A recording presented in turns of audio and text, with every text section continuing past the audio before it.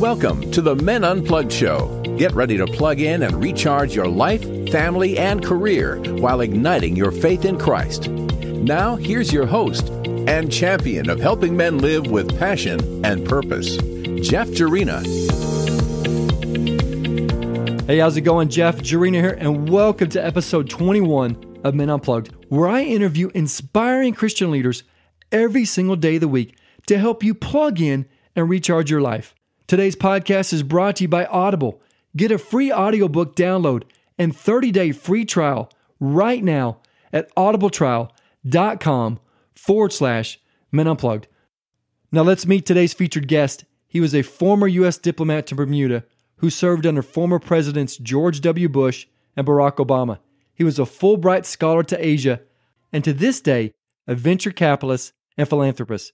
Joining me now author of the international best-selling book Be a Better Dad Today, the Honorable Gregory W. Slayton. Brother Greg, welcome to the show. Are you ready to help men plug in and recharge? Jeff, it's great to be here, and I certainly am. As a former diplomat, my first question for you is How did you get that sweet gig in Bermuda? well, uh, President Bush uh, is a wonderful, wonderful man and became a close friend. I had the honor of being the chairman of Silicon Valley Bush 2000 and then the finance chairman for uh, Bush Cheney 204 for Northern California. So we got to know each other pretty well. And he uh, asked me if I was interested in serving our nation abroad. I said absolutely. Uh, I talked. We talked about a few different posts, and Bermuda is the one that uh, we ended up. Uh, you know, we ended up at. We're deeply, deeply thankful. Hard to turn that one down, really. Indeed, it so, was. Yes, sir all joking aside, thank you so much for your service to our country. Really appreciate that. Thank you, Jeff. Two of our four children are in the U.S. Army, and that's real service. Yes, being a diplomat is absolutely service, and it was an absolute honor. Uh, but uh, my heart and my deepest thanks go out to our uh, the men and women in the U.S. Armed Forces. Well, thank you for their service too. So, in terms of your book, "Be a Better Dad Today," what inspired you to write it? Well, uh, it really comes in, in large part from my own personal experience. When I was uh, young, in my teens, uh, my, my blood father abandoned my brothers and myself. And he didn't just leave mm. us, he wrote a note. And the note said, Boys, I'm leaving. I never mm. want to hear you again. I never want to see you again. I never want to have anything to do with you again for the rest of my life. And that's one promise he kept. We never heard from him. And 25 years later, he died alone in great poverty and pain. And that was a very, very sad chapter in all of our lives. That's really a tough road to handle when you're a young man. And then, really, to overcome that, to create this book, Be a Better Dad Today. Well, you'd be surprised, or maybe you wouldn't be surprised, how many people today grow up with really difficult or non existent relationships with their father. And uh, fatherhood failure is the primary reason for family breakdown not just in America, but, but around the world. And that's why our foundation, which is called the Fellowship of Fathers Foundation, helps dads to strengthen their marriages, strengthen their families. And that was the whole purpose of the book. Uh, the, I want to thank God for his help in understanding how to be a better dad over these past 25 or 30 years. And I really got to thank my Chinese family as well because uh, I was kind of taken in, quasi adopted by a Chinese family in my town that happened to have a son my age. And they really taught me the powerhood of fatherhood, family, and faith. And I'll always be indebted to them. In your book, you mentioned that being a dad is the most important job a man will ever have. Can you explain for our listeners why you think that is? Well, it's absolutely true from from any perspective. First of all, it's the only job that's eternal right? Mm. I was I've been U.S. ambassador. I've been an Ivy League professor. I've done some other great, uh, great things, but you know, all those jobs come to an end, and uh, it's also the only job for which there's an eternal reward. Literally, your children. You don't just, as a dad, you don't just impact your children and your children and your children's children's children. The research shows that your impact can go down five, six, seven generations and in fact, if you believe, as we do, Jeff, in eternity and in heaven, that literally your reward can be for eternity. And that's pretty darn important. Mm. Now, to your point there, I, I love what you said here. To your point, a stat that you've placed in your book children who, who grow up without fathers are two to three times more likely to spend time in jail, drop out of school, become addicted to drugs or alcohol, and fail to hold down a long term job. Man, that is a staggering statistic right there. Well, in point of fact, it's actually worse than that. If you go on, for instance, uh, children who grow up without uh, an actively involved father are something girls are something like five times more likely to get pregnant uh, in their teenage years out of wedlock. I mean, it just goes suffering from emotional, uh, severe emotional uh, disturbance. That's something that we see more and more in, in, the United States. And of course, there's a variety of reasons a lot more drugs, a lot more alcohol, a lot more pornography addictions and stuff. But one of the prime drivers of uh, severe emotional illness amongst our teens and young adults is again uh, a complete lack of any relationship with, with their father. And that's uh, that almost any problem that you can point to in the uh, American teens and adults is is related in some in, in some way to fatherhood failure. With that said about fatherhood failure, for the dads listening right now, that you know we're doing the best we can, believers in Jesus Christ, and really, you know, we don't always get it right all the time. What would you say to those guys, or insight that you can that you can give that you know when, when we get it wrong what well, would you say for some you know encouraging words yeah yeah let me let me define fatherhood fair because i don't want anybody out there who's still trying who's still in the game who's still at the plate. I don't want anybody out there to think they're failures. The guys we define fatherhood failure as the emotional or physical absence of a dad from his child's life. That's pretty pretty, pretty stark. And there's a tremendous amount of that in, in the united states. But my guess is that 90 to 95% of the guys listening to this podcast are not in that category. And I want to encourage every dad. We all make mistakes. Man, I've made so many. And that's why I wrote this book, Be a Better Dad Today, because golly, when I first had our first child, and then we had we've had four, we have four wonderful kids. I looked around for kind of a practical, hands-on, like manual, like, you know, how to do this fatherhood thing. And I didn't find one. So I took a lot of notes. I studied fatherhood on five different continents. I've always been a real student of fatherhood. And those notes over years became this book, Be a Better Dad Today, which now has become a global bestseller. It's in 20 languages and it's sold like something like 300,000 copies worldwide. We do give all the royalties and profits from the book to charity. So uh, I hope, uh, you know, I hope it's a blessing. I hope it continues to be a blessing uh, for dads for many, many years to come. That's great. What that tells me right there, Brother Greg, is that you're speaking to the heart of not just men in America, but men across the globe. I mean, if that wasn't the case, you wouldn't be an international bestseller. So great work on the book. And I'll tell you, I've read the book. One of the things that I like that you have from there is creating a noble family vision. Mm. Tell me a little bit, an excerpt from maybe your own noble family vision. Sure. Well, actually, our Noble Family Vision is recreated verbatim in the book, and anybody who gets a book can read it. But I want to caution readers it's not about my family vision or your family vision, Jeff. Each one of us can create and should create our own family vision because every family is unique and every family has different challenges, different goals, different aspirations.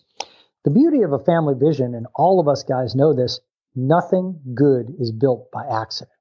You didn't build your house, you didn't build your business, you didn't build your family, uh, and you sure didn't even a bicycle. You can't build by accident, right? You need a plan. And a noble family vision is effectively a plan, a, a roadmap, if you would, of where do you and your family want to be in 20 or 30 or 40 years, depending on how old y'all, how old you and your spouse are, and you know where you are in your marriage and your family right now. But it's kind of looking forward and saying, here's where we want to be. How are we going to get there? And it's something that's done collectively. I want to urge that. There's an entire chapter on the book, in the book, on how to build a noble family vision. And I just want to say it's not the noble dad's vision, it's not the noble mom's vision, it's the family vision. It has to incorporate the dad and the mom and the kids. You bring everybody together and make sure they all agree and understand that this is important and this is something we have to, uh, you know, really pay attention to. So uh, it's something that uh, I, I've I love doing, and it's one of the parts of the book that almost all the reviewers and we've been, you know, re- the book's been reviewed hundreds and hundreds of times have pointed out as something really novel, really fresh, and really new. So uh, again, I just hope it's a blessing to to the guys who read the book. Well, I tell you, just reading your noble family vision, uh, and this one I think is really important. When tough times come, as they will, we will stick together and fight it out. And then you put together. I think that's mm-hmm. really important. Let me just say, Jeff, to all your guys, I just want to say uh, thank you so much for mentioning that. To all your guys, I just want every dad to hear me. Trouble comes to all families. You know, it's not that will never, it's impossible to avoid trouble in the world we live in. Look at the Bible. There's not one person in the Bible, including Jesus, that doesn't have really difficult times. Absolutely. In, in a family, you're either just getting out of trouble, you're having some trouble, or you're going to have some trouble in the future. That's just reality. But the point is, together, as you said, together, a family can weather the storms of life. It's a little bit goes back to Jesus' teaching about do we build our house, literally our house, on the rock, the metaphorical rock, or do we build it on the sand? And a noble family vision and the 10 tools that, that we talk about in the book really help us as dads to build on the rock so that when those troubles come, which they will, the house stands. Mm, now you're going right into my next question, and that's the real meat of the book the 10 tools of fatherhood. Of those, what would you say the most important one is and why? Well, I can't really say that one is more important than the other, but I will say that for each dad, there are tools that we're strong in and tools that we're not strong in. And and and I really encourage dads when they pick up the book to just look at the tool section and maybe they talk to their wives or maybe they just think about it themselves and say, boy, that is something I really need help in. Tool number four, heartfelt love, right? Or tool number two, all in marriage. Or tool number one, family first, family fun. The tools are arranged in the acronym fatherhood, so they're easy to remember. And every chapter, there's one chapter per tool, and every chapter is followed by a put it to work section so that guys can actually say, okay, I'm going to read that chapter, I'm going to understand all about it, and then for the next month, I'm going to practice putting it to work in my marriage and in my family. Again, can't build anything in life without tools. Can't build a bicycle. Can't build anything in life without tools.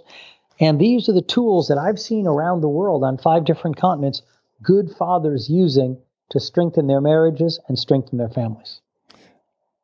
Great word, great word.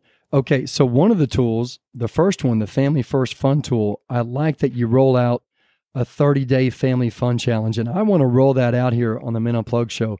Guys, I want to say right now, let's get into this. If you want to get into this 30 day challenge, it's really simple. Just read the book. It's it's really not hard at all. I think one of the things that you say is, look, just go to two dates a month with your wife. But the most important thing I think that you wrote in there was don't just do it for 30 days, but try to make this a lifestyle of 60 days, 90 days. And then the next thing you know, you're rolling into doing it month after month after month. That's right, brother. It's good. It's about good habits. You know, tools are only effective if we pick them up, pick them up and use them, right? We've all got, a, you know, saws and hammers and uh, screwdrivers and stuff, but they're not helpful if we don't use them. That's the same idea for the 10 tools of fatherhood. Each one of these, we have to pick it up. We have to become masters of, of that particular tool. And it's not hard. It's not hard. It's just something uh, that, you know, we can encourage ourselves. We can encourage each other. Let me, let me mention that there's a great website guys can go to for Be a Better Dad today. And they can check out a lot of information right there. You don't even have to buy the book. Of course, if you want to buy it, that's great. All profits go to charity. So hopefully it'll be a double blessing, both uh, for you and your family and also for the charity that benefits from your purchase. But uh, again, beabetterdadtoday.com. And the book's available at all Christian online bookstores and Amazon. And, and you know, I do hope people grab it because, uh, you know, we just want it to be a blessing. That's all. Well, we're going to put a link to that book on the show notes of this podcast episode. How would you like to hear about upcoming podcasts and resources each week? Go to menunplugged.net and click on any button that says Stay Informed to join our weekly email list. And hey, if you're a dad and you want to get a copy of Greg's book today, I've got a free offer for you. Go to audibletrial.com forward slash men unplugged to get a free audio download of the book today and a one month trial membership. If you prefer the print version, visit the show notes of this episode on our website at menunplugged.net forward slash podcast to order the book directly. Let's get back to the show. Greg, are you ready to rock the supercharge round? Here we go, brother. All right, let's go. Okay, so my question, the first one is what were the circumstances that led to your faith in Jesus Christ? It really had to do with uh, my father leaving us and my realization that we had a lot as a family. We we had some degree of wealth and success and stuff, but we didn't have a family. Once my dad left, it was mm. it was nothing, and and we we didn't we we weren't a family of faith in any way, and it was very appealing. You know, this Chinese family that I mentioned earlier, they had been they were immigrants, and they didn't have you know power or position or wealth or education or anything, but they had faith and they had a strong faith. And as a direct result of that, they had a strong family. That really impacted me. And, uh, you know, let me just say, say you can't, you can argue theology all you want. You can't argue with a strong and happy family. That's a good point. So, what was your worst moment as a dad that you care to share, and what do you want men to learn from it? Oh, brother, how much time do we have here? A couple hours? I mean, I'm making mistakes all the time. I'm an emotional guy. I get, you know, pretty fired up and sometimes, you know, in the wrong way.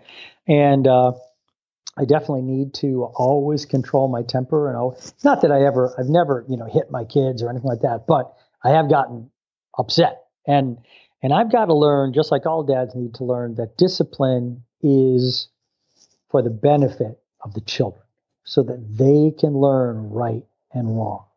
Uh, and that, that, there's a whole chapter in the book on discipline and how to do it correctly. And that's something that, you know, like many, many things, I mean, I'm still learning. So, but our kids, thank God, our kids have turned out extremely well. And my wife gets all the credit for that. But, um, you know, there's honestly, there's a dad being a, the reason it's called Be a Better Dad Today is fatherhood is a lifetime journey. And every single day, we can be learning something. We make a mistake, sure, that's okay we pick ourselves up, we apologize if we need to, and we keep moving as the heads and the leaders of our servant leaders of our family. Uh, personally speaking, I can't tell you how many times I just get it wrong. After about 30 minutes, an hour, I just feel the Lord saying, dude, you just didn't get it right. And then I go to my daughter and I say, Kinley, I'm sorry. Daddy didn't act the right way. What amazes me is that kids, when you can say you're sorry, they have an unlimited amount of grace yes. to give you. That's absolutely right, brother. Well, hey, we all make mistakes. I make mistakes, you know, multiple times a day. And, uh, but you got to remember what the Bible teaches us love covers a multitude of mistakes. Actually, it says love covers a multitude of sins, which is also true. So we got to, the number one thing we got to make sure our kids know is that we love them. In fact, I want to challenge each guy that's listening to us today to to this, you know, within the next 24 hours, to go to each one of your ch- children, even if maybe they're away at college or something or living somewhere else, get them on the phone and tell them three things. I love you very much. I'm proud of you. I really am. I'm proud of the man. I'm proud of the woman that God's making you. And number three, no matter what happens, son, no matter what happens, daughter, I want to be sure you know this that I'm with you and I'm for you for the rest of our lives. Those are three things that our kids need to hear all the time from us. And if you if you're not a if you're not a physically affectionate dad, get over it. Get over it. This whole John Wayne thing, it's crap. You know, John Wayne himself hugged his kids. You know? He had to, so, right? Absolutely. Yeah. You want hey, here's the question. Do you want your 13 year old daughter going out to find physical affection outside the home? You do not.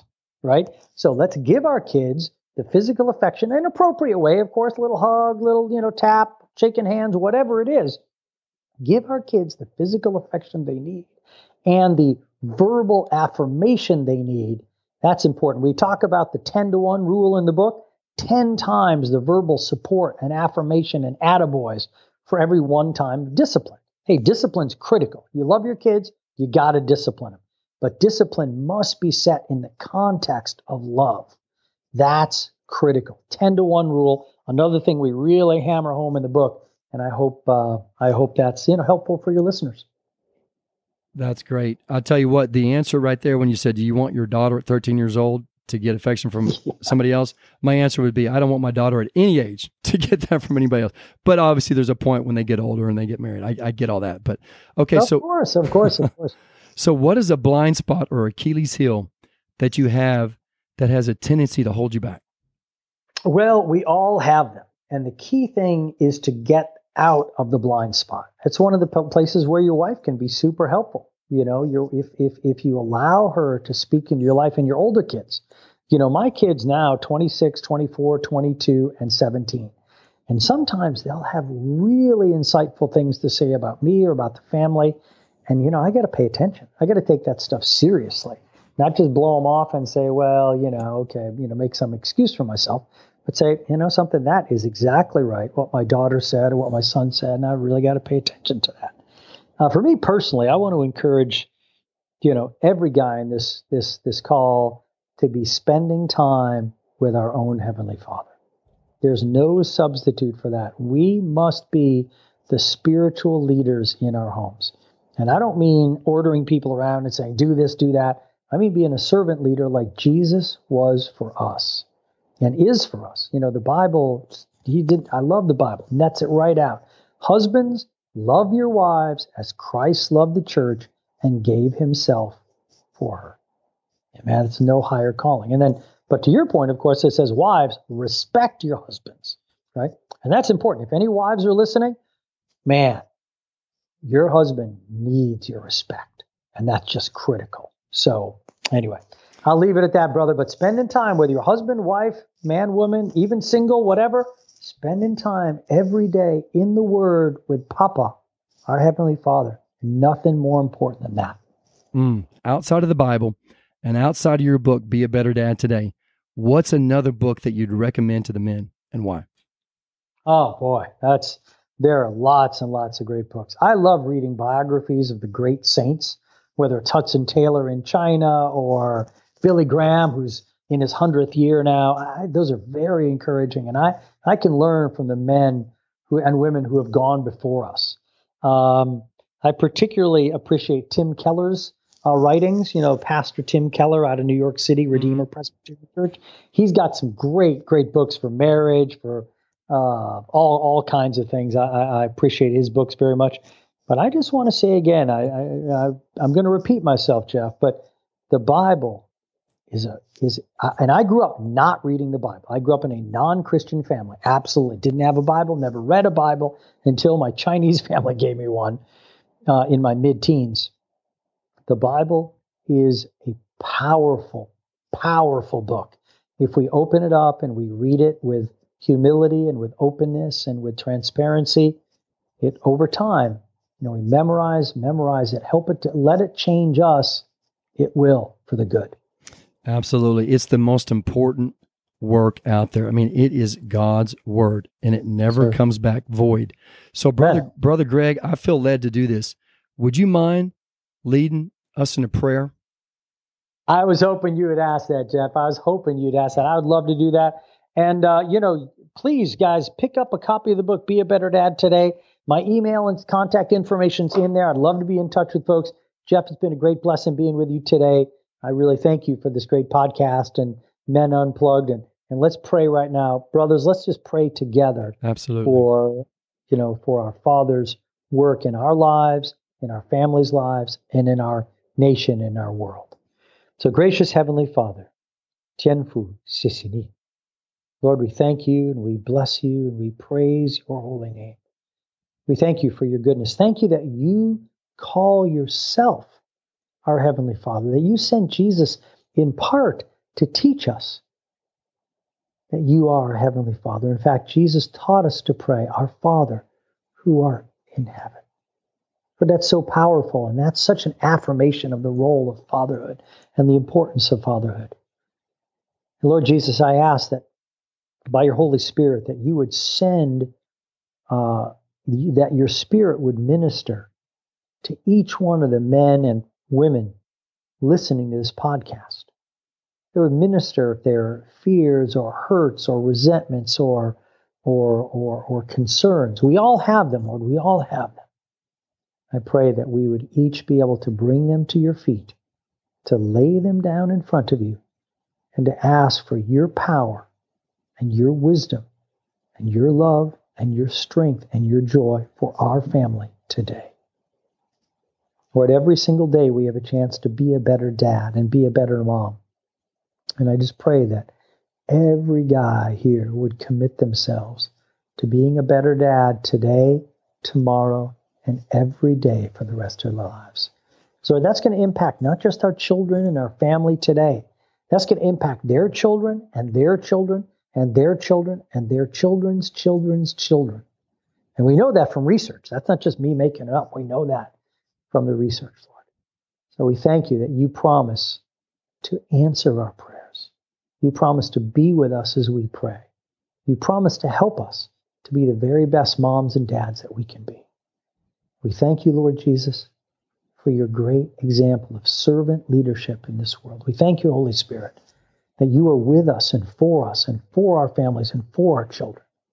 And we thank you, Heavenly Father, for you are the namesake and you are the head of every family in this world. And we just thank you and bless you. And in your most holy name, we ask these things. Amen. Amen and amen. Powerful prayer. Mr. Slayton, thank you so much for being on the show today. It was truly an honor and a pleasure. And I'm telling you, you rocked the mic today. Great job. well, thank you. Thank you so much again for my copy of the book. Thanks again for being on the show. God bless you now.